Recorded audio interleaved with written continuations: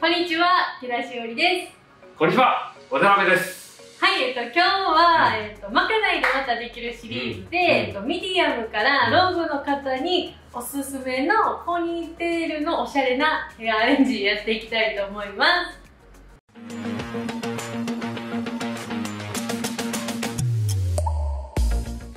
はい、はいえっと、ポニーテールするときって、うん。結構やっぱ髪の毛が長いと毛先巻いた方がまあ可愛く見えると思うんですけど、もう時間がないっていう時にゴム3つでもう巻かなくてもおしゃれに見えるアレンジ紹介していくのでよかったら参考にしてみてください、はい、それでは動画スタート。ヘアオイルを使います。オイルを4滴出します。全体的にオイルをしっかりつけていきます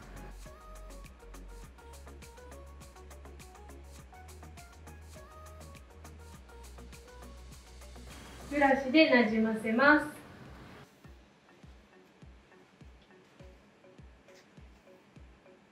耳上の位置で一つにまとめてゴムで結んでいきます。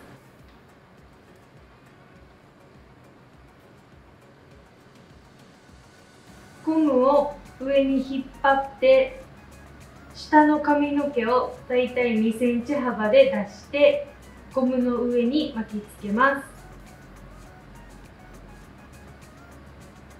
だいたい2回ぐらい巻きつけて3回目でゴムの中に入れます。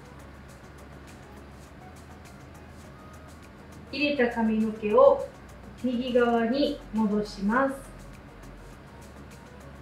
毛先の出てきてる髪の毛を内側にしっかりと入れてなじませます。先ほどくくったすぐ下にゴムを結びながら下にずらしていきます。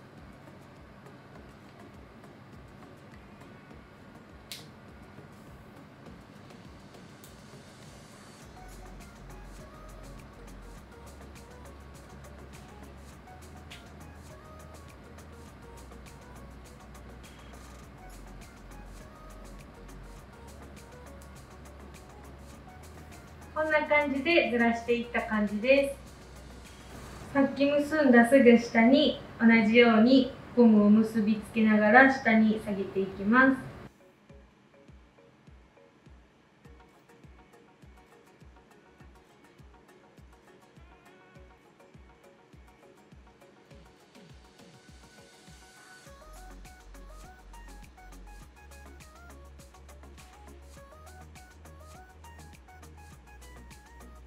こうするとこんな感じでうねうねした感じで仕上がります。スプレーを振っていきます。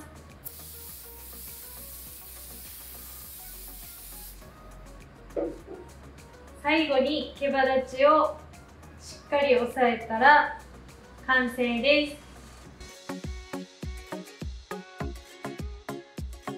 はい、はい。えーこんな感じで仕上がりました、はい。えっと、今日のポイントなんですけど、えっと、ゴムをちょっとこうずらしながら結ぶっていうのは結構難しいかなって最初思うんですけど、しっかりこう最初の根元を押さえながらゴムをずらすと、えっと、かなり簡単にずれてくれるのでそこを注意しながらやってみてください。はい、あと,、えっと私は髪の毛になじむように、えっと、茶色のゴムを使ってるんですけどももっと派手にしたい時は、えっと明るい色のゴムを使っても可愛いと思いますしえっと、いろいろこう同じやり方でも、まあ、アレンジが効くかなと思いますのでよかったら皆さんえっとうねうねアレンジやってみてください。はい。はい。ではまた次回の動画で会いましょう。さよなら